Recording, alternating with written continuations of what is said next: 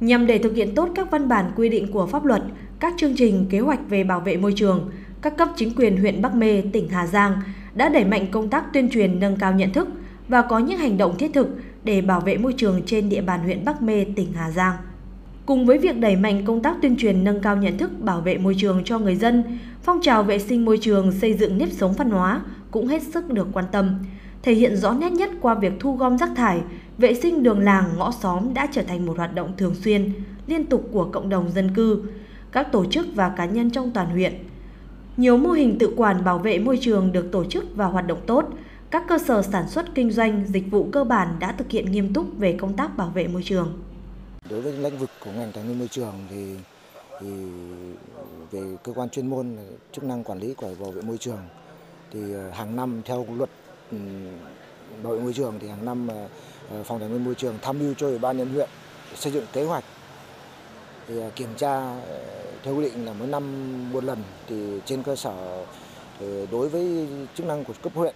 thì được xác nhận kế hoạch bảo vệ môi trường. Thì trên cơ sở đối với các cái hộ sản xuất kinh doanh thì chúng tôi nắm bắt theo cái kế hoạch. Thì chúng tôi đi kiểm tra uh, thường xuyên theo cái chức năng của cấp huyện còn đối với các cái dự án khác thì do tỉnh thì chúng tôi không còn quyền để kiểm tra thì trên địa bàn huyện Đông Mê thì cũng uh, trong hai năm nay thì cũng như các năm trước thì cũng chưa xảy ra cái gì mà uh, nó liên quan ảnh hưởng lớn về cái công tác bảo vệ môi trường. Hợp tác xã Bình Minh thuộc tổ 4 thị trấn Yên Phú chuyên sản xuất chế biến lâm sản. Hàng năm lượng rác thải tự sản xuất ra khá lớn. Biểu tượng mới của thành phố tương lai phía Tây Hà Nội. Chuẩn mực và đẳng cấp vượt trội. Vị trí trái tim của đại đô thị thông minh đầu tiên tại Việt Nam triết lý sống xanh được thực hiện hóa trên từng không gian sống. Imperia Smart City, Thành Bích, Live Smart, một sản phẩm cao cấp của tập đoàn Big Group. Vì vậy, vừa để đảm bảo cho việc sản xuất kinh doanh, hợp tác xã đã ký cam kết với chính quyền địa phương về công tác bảo vệ môi trường. Bên cạnh đó, hợp tác xã đã thực hiện đúng theo quy định đó là không đổ rác đốt bừa bãi mà xây dựng hệ thống lò đốt rác tranh khói, bụi ảnh hưởng đến môi trường và cuộc sống của người dân xung quanh.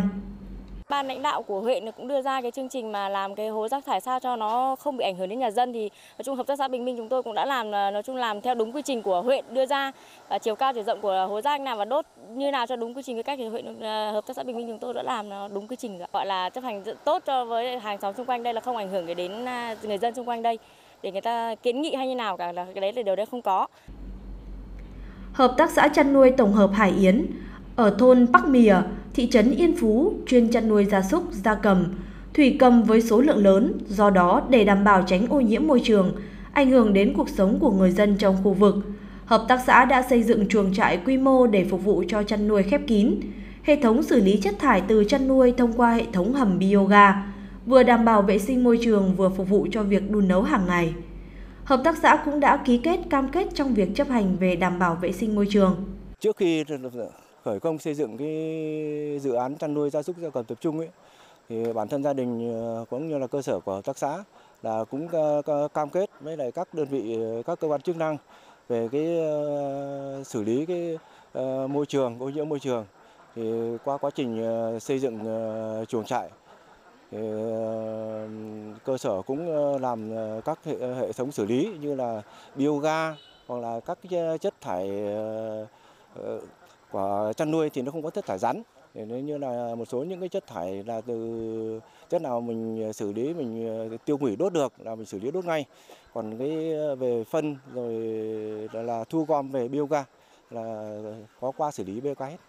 Chất thải của chăn nuôi là cái khí metan nó rất nhiều. Khi qua sự qua xử lý cái bioga thì khí metan nó sẽ tiêu hủy ờ, tiêu hủy đi tức là cái tỷ lệ nó còn rất ít nó vẫn còn nó chỉ còn cái tồn dư nó vào tập khoảng 10 đến 15% nữa. Từ đầu năm 2019 đến nay, huyện Bắc Mê đã tổ chức nhiều cuộc thanh tra, kiểm tra đột xuất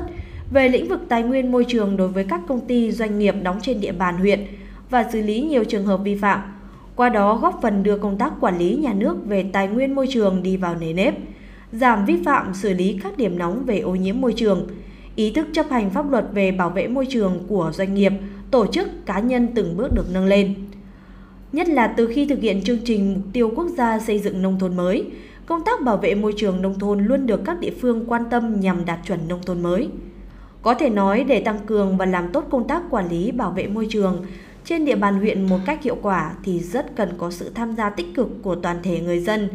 và sự vào cuộc hơn nữa của các ngành chuyên môn, của các tổ chức cá nhân trên địa bàn huyện.